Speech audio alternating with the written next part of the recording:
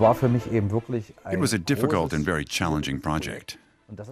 It's the first time I thought I might be out of my depth.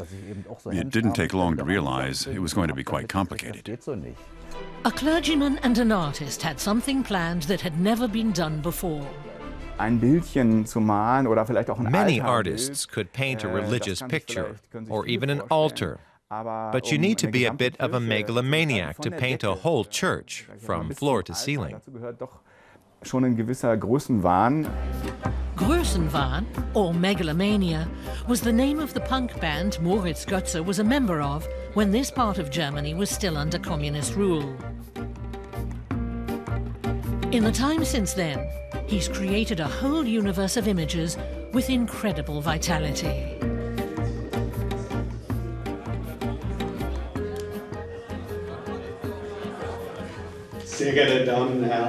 Ladies and gentlemen, it's a great pleasure and honor to introduce you to Moritz Götze's work.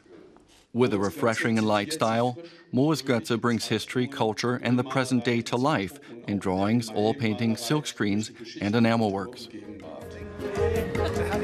Both of Götze's parents were artists. Before following in their footsteps, he became a carpenter. Now he expresses his own view of the world, even in matters of faith. Da muss man nicht unbedingt nahe bei der Kirche sein, aber die Offenheit. Whether or not he's a member of the church is insignificant. It's his receptiveness to the wonder of creation, and I would say God, even if he himself never mentions God, that make him one of the few mediators, or the only one, in this non religious environment.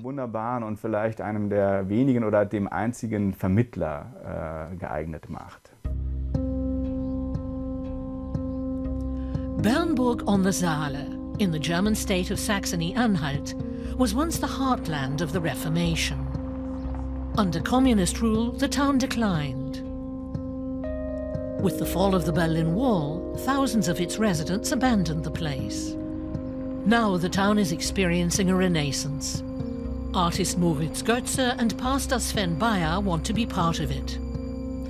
The old castle church, dedicated to St. Egidius, once belonged to the princes of Anhalt-Bernburg. Many of their ancestors are buried in the crypt. Among them is Prince Victor II, the 18th century ruler of Anhalt-Bernburg-Schaumburg-Hoym. It was he who restyled the old Romanesque church in 1754 with Baroque exuberance. These elaborate tombs show how influential the rulers of Anhalt used to be. In the church, the massive royal gallery facing the apse emphasized their temporal power. The building was in a state of neglect when Sven Bayer was appointed pastor in 2001. Shortly after the fall of communism, the dilapidated crypt was repaired. The first restoration work on the church was undertaken in 2005. The superintendent wisely brought me into the church from the tower end, because you can see the organ from there. At that time, it was the only thing in the church worth looking at. When you turned around, all you saw was a gray and very ugly wall with the paint peeling off it. Sage ich mal, mit abgeblätterter Farbe die Wand. During the communist era, most churches in East Germany fell to rack and ruin. The plan now was to make this one a place where people could joyously express their faith. Da ist man dann aber wieder mit dieser doch bedeutsamen Kirche. This very important church had been left to disintegrate on the inside. The apse was bricked up, and all of the turn of the century paintings were ruined. And so there was talk about restoring it. I can't remember exactly, but talk about what was to be done about it. How to restore it and make it, once again, a place where people meet and pray. Should it be modernized? That's the usual approach. Or should the restoration be more traditional? The artist and the pastor wrestled with these questions at the minister's home and in the artist's studio. Hm. Und dann haben wir also einzelne Motive ausgewählt. We chose a few subjects to focus on. Then I simply told stories. Bible stories, which he might have heard already, but couldn't remember. Together we looked at pictures. We considered their relevance for today and what he could do with them. But mostly I just told stories. That was the substance of our meetings. Me telling Bible stories and the two of us looking at pictures. An unusual design for the ceiling was their first courageous decision to make something original bright clouds against a blue sky, painted in enamel on steel. They got backing from the parish council and the diocese. The Lutheran Church and sponsors provided funding. Painting the sky on the ceiling of a church is nothing unusual. It's been done in many periods of art history. But the question was, how should a Goetze sky differ from, say, a Schinkel sky? From the start, he was determined that you had to see the difference.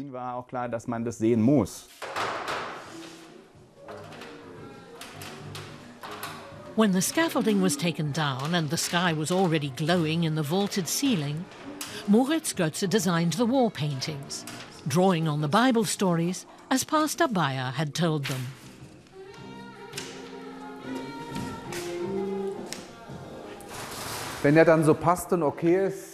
If it's okay, I'll cut my templates for the steel. It's like a giant jigsaw puzzle. I hope it all fits together.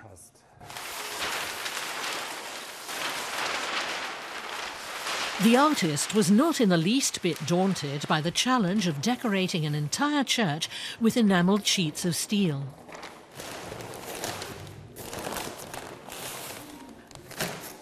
Dispensing with beamer projections and computer designs, he worked from drawings and drove the 50 kilometers from his home to Bernburg, where he tried them out in the church itself.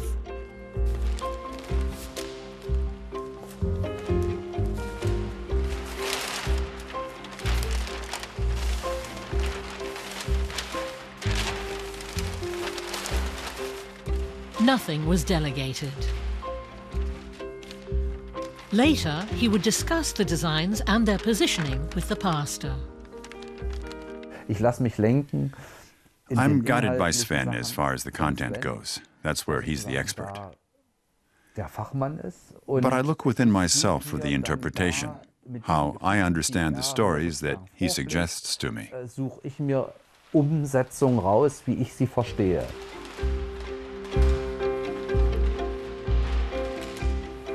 His conversations with Pastor Bayer inspired the artist as he began each new design. Pastor Bayer was open to the artist's very free interpretation of the Bible. Ja, Sven, hier habe ich noch den Entwurf. I've hung up the design here again where you can see the division. But I can't decide if we should let it run into the apse or not. And where the door is, do the measurements work? Yes, they work.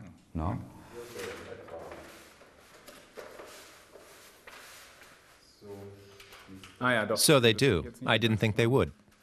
Prince Victor II, who restyled St. Egidius in the 18th century, has a prominent position next to the apse. The next day, after a two-hour drive, Moritz Goetze arrived in Muldental in southern Saxony, famous for its enamel workshops. Usually these laser machines cut sheet metal for stovepipes. But in the interests of art, in this case, they served a nobler function. So here we've got the crown of thorns and and the fish. The metal shapes form the basis of the enamel work. Goetze cut many of the metal sheets himself, but when the workshop could help out, he availed himself of their lasers.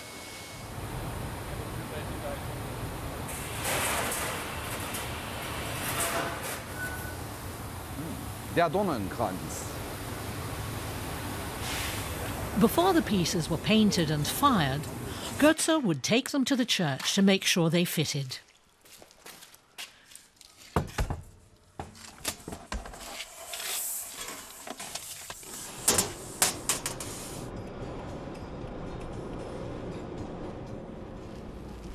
The walls were uneven, which complicated the work enormously.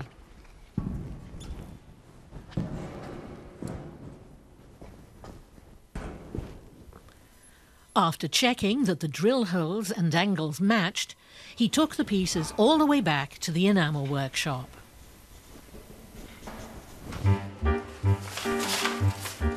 Goetze set up his own little studio at the enamel factory. When the pieces of metal had been pre-fired, they were sprayed with a light chalky primer. In this first dust-free coat, he lightly drew floral shapes and the outline of figures. These lines ultimately appear black.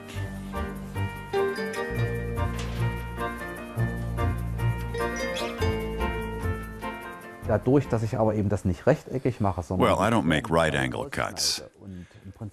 I cut the shapes out freehand, like a paper cut, basically. And I leave lots of bits open so that even though the enamel and steel are brutally hard materials in themselves, my ornaments and foliage take on a delicate, fragile appearance.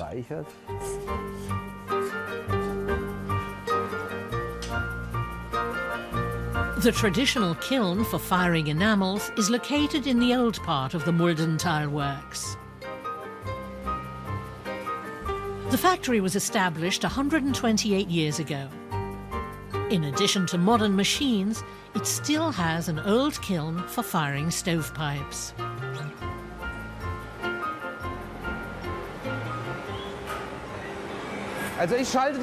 I'll turn off the kiln today. I'm going to put a few of my own things in and then I'll turn it off later.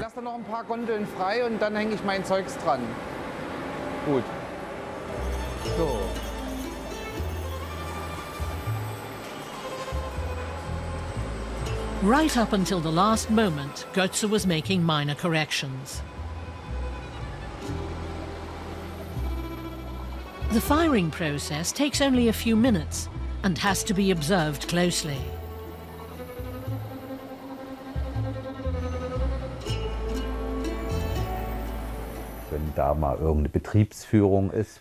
When there's a factory tour and some client is being shown around the workshops, they always say, this is our artist.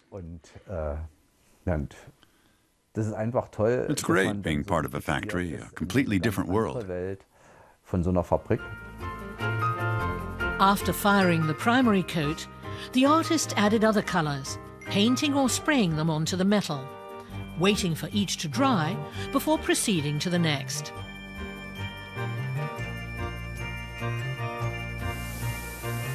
Superfluous dry paint was removed in several layers.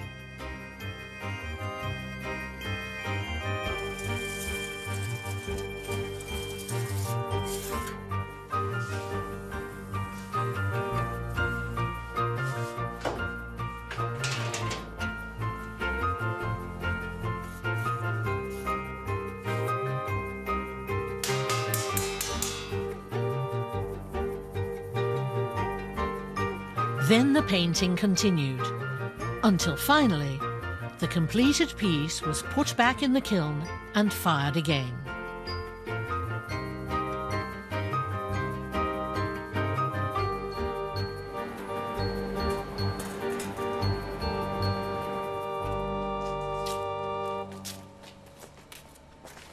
Es ist an sich eine relativ It's basically a rather simple technique. But what's special about enamel is its material properties. It has an aura that just makes people want to touch it. They feel it's something special. Und als was Besonderes empfinden. Time and again, Moritz Goetze took freshly fired enameled metal sheets to the church in Bernburg to fit them into the jigsaw puzzle. The heavy sheets were attached to the uneven walls with a total of more than 2,000 roll plugs and screws.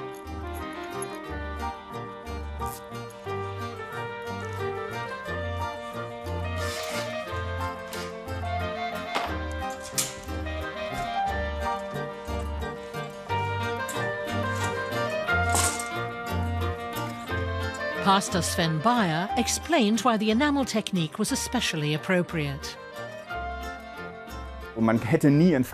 It would have been impossible to do a fresco because it wouldn't have stayed fixed to the walls. And that's why, once again, it was a wonderful act of providence that when it was clear that Moritz Goetze was going to be involved in the project, that he would be working in enamel, and that it would be at a slight distance from the walls.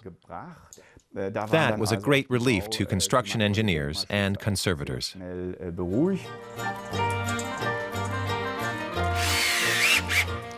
In spite of having more than 200 square meters of images hung on them, the walls are able to breathe and remain dry.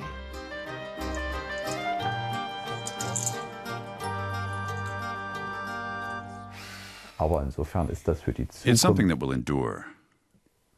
The parish still could say, we don't like it, let's take it off the walls, let's put this childish nonsense in the attic. And then some future generations could decide, provided it doesn't get stolen, to put it up again in a hundred years' time. Moritz Goetze managed to stay relaxed and good-humoured, even after working a 60-hour week. Family and friends gave him a lot of support. His wife, Gitta, who's also a successful artist, enjoys getting together with their friends as much as he does.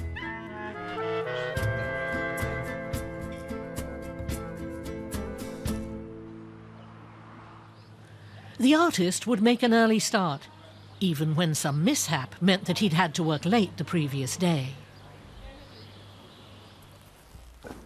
When I tried to mount this yesterday, I realized it didn't fit. So I turned it around and painted the reverse side last night in the studio, and then I fired it again. And now it fits. Fortunately, he has a kiln at home too. That allows him to fire pieces quickly right at home when necessary.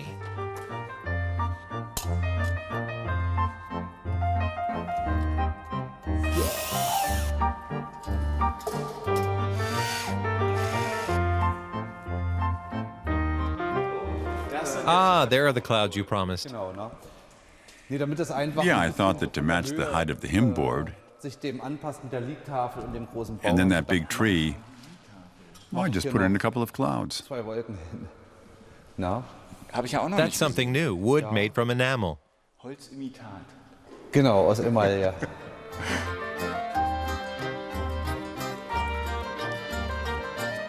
The images on the south side were inspired by the New Testament. Dass sich so eine Stadt ergibt, die einerseits natürlich durch die Stadtmauer und So we've got the wall and the man riding on the donkey, which evokes the time of the original story. damalige Zeit auch erinnert, aber äh, But of course, back then there were no skyscrapers or modern buildings. I put those in to bring us into the present. dann auch äh, rübergezogen. I think the way you've portrayed it is very unusual. I've never seen a composition like it. But the subject is familiar, and you recognize it immediately as your work. I'm lost. The apse was to be decorated next. The plan? To display biblical scenes in large floral frames in the semicircular space behind the altar. But then they discovered there'd been a slight misunderstanding. But that's what you wrote. No, uh, I said grape. Ja. Die kirchliche Ikonografie lebt ja von ganz vielen Details. The symbolic character of church painting depends on a lot of details. The meaning of a particular flower or animal. And often the symbols are multi-layered. Und da hat eben Sven Bayer zu mir Sven Bayer said a dove would be appropriate. The German word is Taube, so I painted a dove. Da eine Taube But when I proudly showed him the design, he said, I didn't say Traube, I said Taube. That's the German word for grape. Hat er gesagt, wieso But that was okay because I'd made those too. Aber die hatte ich auch gemacht. Sometimes Pastor Bayer needed to get used to Goetze's mischievous ideas. Dann haben wir ja immer wieder überlegt, ob man nicht auch ähm, Zitate We thought about including quotations, and I suggested a very important psalm. Also einen ganz wichtigen Psalm äh, genannt. Und äh, Äh, it appears here, blurred in this number plate. Äh, Not a proper quotation, but, kein echtes Zitat, well, rather cryptic, I suppose. Das ist schon ziemlich kryptisch, ne? Also denke mir mal, das I think a lot of people are going to be taking their iPhones and Googling 118 to see what that means. In ihrem iPhone, was ist 118?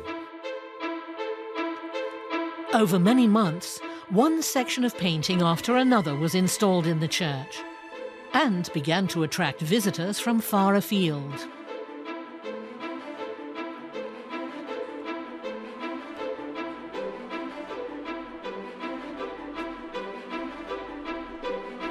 These Bavarians said they'd never seen anything like it.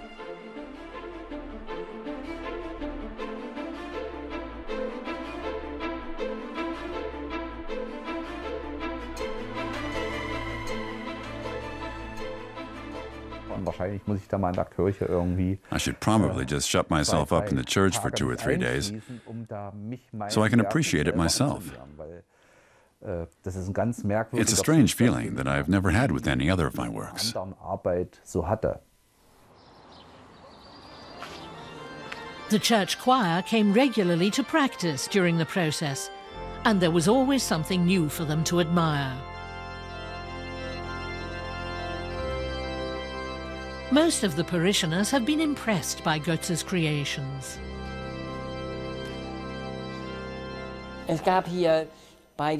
There were some people who, from the start, said it's not my church anymore. And I can understand that. They're people who were responsible for the restyling of the church 45 years ago, in the early 1970s. And now they have to watch another generation creating an entirely new church image. I can understand them, but I personally prefer the new version.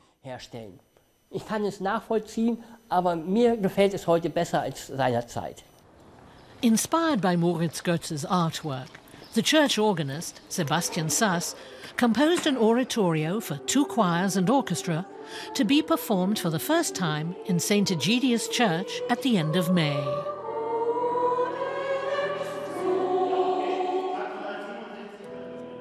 Und ich sprach, Herr mein Gott, du weißt es, und er sprach zu mir.